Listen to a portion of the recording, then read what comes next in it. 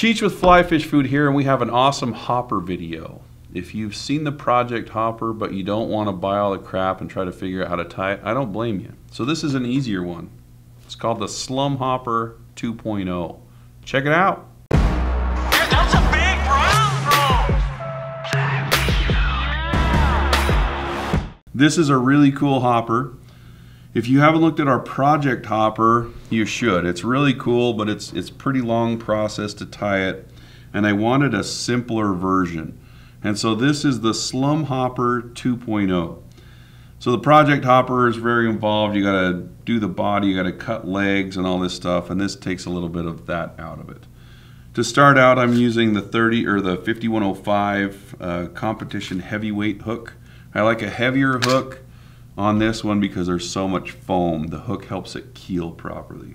Anyway, 140 denier thread. Uh, we're just going to dress the hook.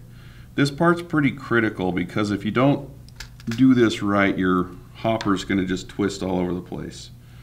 So I'm going to twist up my thread and I'm going to make it kind of rough and gnarly on purpose because I just want surface area to be there so when we glue this uh, foam body down, um, it will stay in place. All right, so once we're nice and rough and nasty, I'm going to take this and I am going to uh, flatten my thread out by spinning it counterclockwise.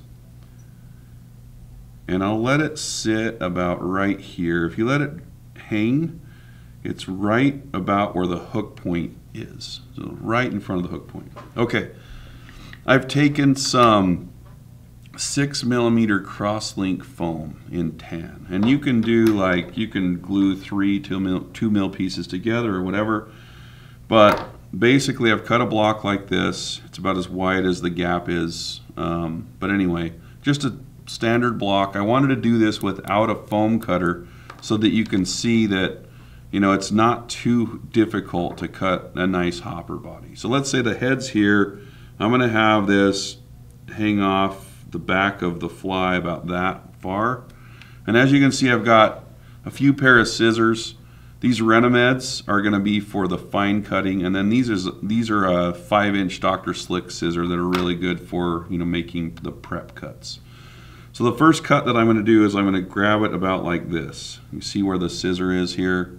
Um, I'm going to make that cut first. So now I've got a wedge like this. Then the next one I'm going to make is I'm going to take a little bit off of this angle and you're going to have some rough edges here. It's not that big of a deal because we're going to take the old trusty lighter to it. All right, so we've tapered off the back end of it and we're maybe going to come in here now and just take off some more of these hard edges.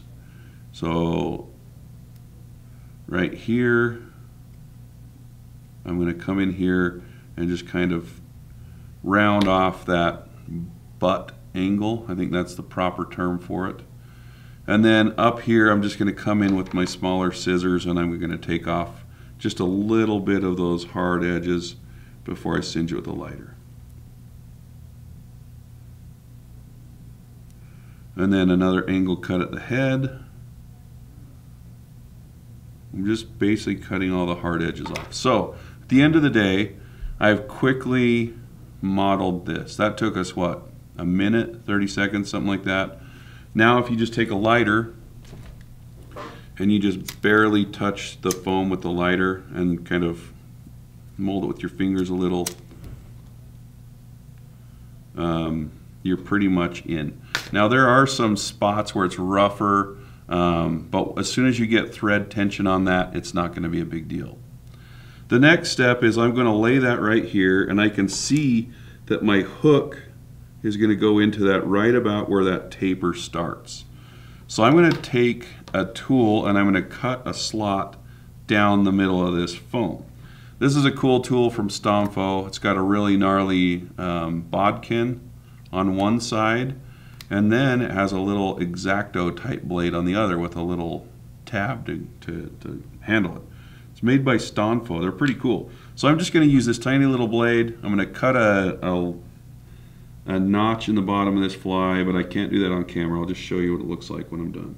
so I didn't cut it all the way to the front, but you can see where I just, you know, kind of dug in, and it's about as deep as half of the blade here. So you don't want to go all the way through, but you want to do it deep enough so you can seat your your hook into the fly. I'm going to take some Z-Ment super glue and just doctor up my thread that I just put in there. That might be a little bit much. Dab it on your finger and then rub it on Brigham's desk. And then you just take that bad boy and you're going to shove it on top of the thread. Easier said than done. There we go. Okay, so we're sitting on the thread or on the on the hook just like that. At this point, I'm just going to take my thread and start wrapping. You don't need to go super, super tight here because you'll cut right through this stuff. So I've just done a few wraps, pretty chill. Okay, the next step is I'm going to grab these hopper legs from Rainy's. This is the size small.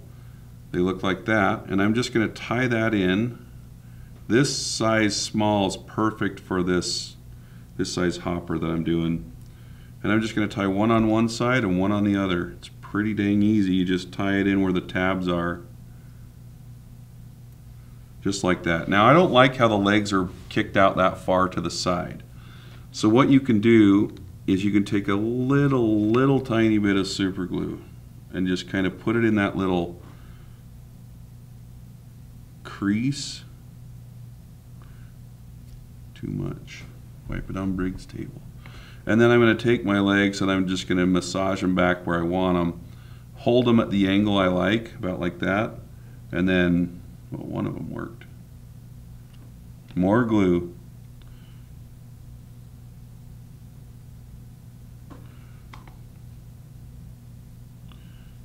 So I'll just push them back like this.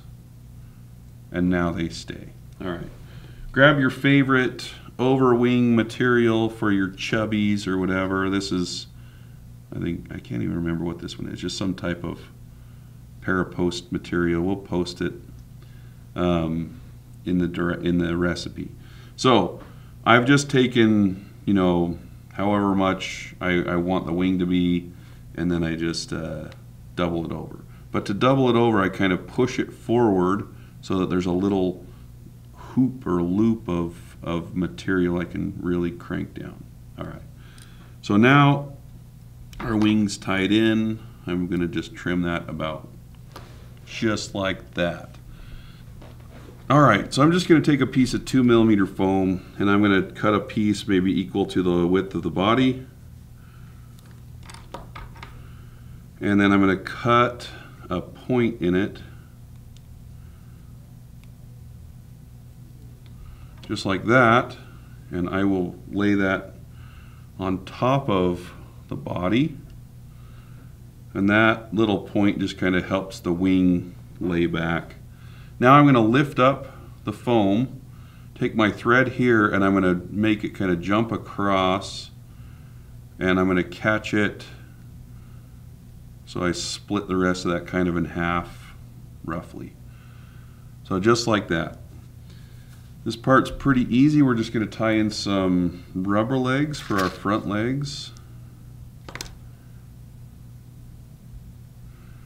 And I like to do it just with one long piece. Tie a leg in one side. Actually, I'm going to tie them a little longer because I'm going to color these up. Just tie it just like that. And then to finish it off, and I'll, I'll color up the legs in a second. So don't don't go anywhere. There's a we're not done yet. So be patient. pull that over and tie this one down. All right, so we're almost ready to whip finish. Cut this off. And I like to cut off these little hard edges on this one. And for an indicator, I just have a peach or flesh piece of foam. You can use orange, yellow, green, pink, whatever you like.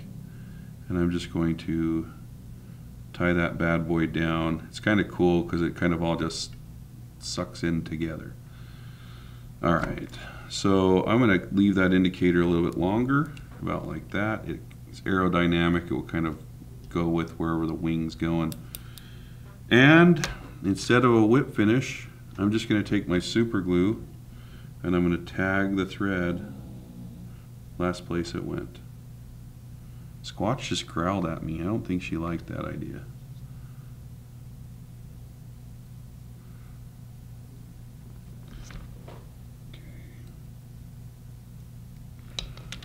All right, so we'll just trim that off. And now for the fun part. To mark up the legs, I'm just gonna grab, these are, what color are these? These are dark golden stone. There's one called mud brown, a lot, I like a lot. I'm just gonna grab these and pull them down and then just take the marker and rotate the, the marker. I'm actually gonna use the, the thick end of this.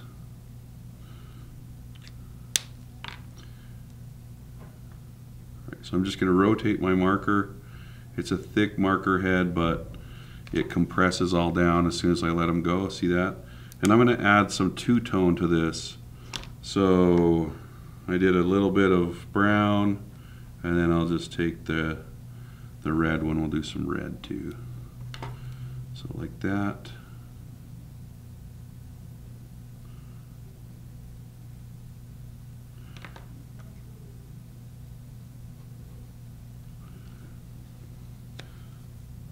Okay, now once the, the legs are all done, we're gonna just trim them up.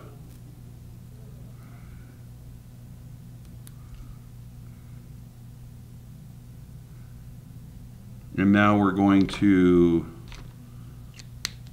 detail the rest of the fly. So we're gonna make an eye out of marker. Sorry, I'm a little handsy on this one because I gotta touch stuff.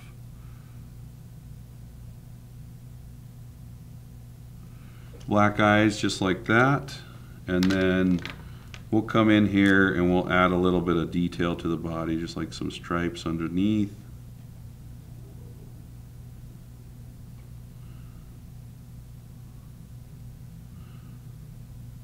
I just like leaving the, the hook in the vise. If you have a rotary vise it's super easy to get to. And then for the legs or for the feet you can take like like a plastic bag or something and put it behind it so that you can just mash the marker down and color the whole foot in one go. Just like this.